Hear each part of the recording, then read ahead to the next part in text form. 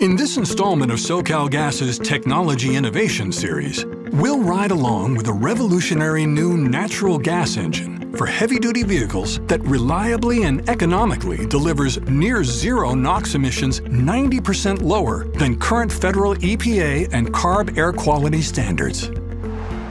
Today, we're at the Los Angeles County Metropolitan Transportation Authority, or Metro,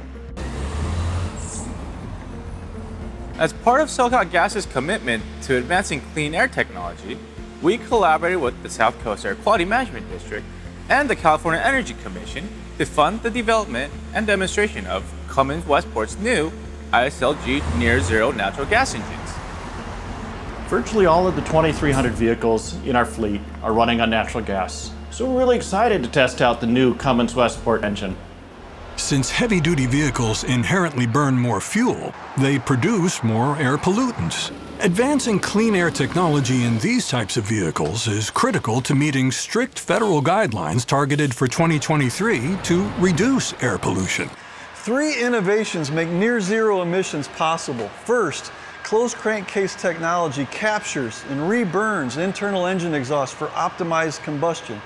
Second, a three-way catalytic converter processes exhaust pollutants such as carbon monoxide, nitrogen oxide, and unburned hydrocarbons into trace amounts of nitrogen, carbon dioxide, and water. And third, innovative engine software optimizes the air-fuel mixture throughout all operating load conditions, resulting in a cleaner fuel burn. To put it in perspective, 1,080 fleet buses, powered by near zero technology, have the same air pollution emissions as just one diesel Metro bus from 1985. To make that leap with what are very minor infrastructure changes is pretty stunning. Transitioning to an electric fleet requires a lot of infrastructure upgrades to charge and repair vehicles, while near zero engines fit the existing chassis. A basic engine swap, and you have a near zero emissions vehicle with very little engineering required. This is technology that is here today, and it's something we can implement immediately. And it's two to three times more cost effective than any other technology option currently available. As the demonstration at Metro shows, these new engines not only meet current air quality standards, they can meet standards set for 2023. Near zero engines are literally ahead of the curve.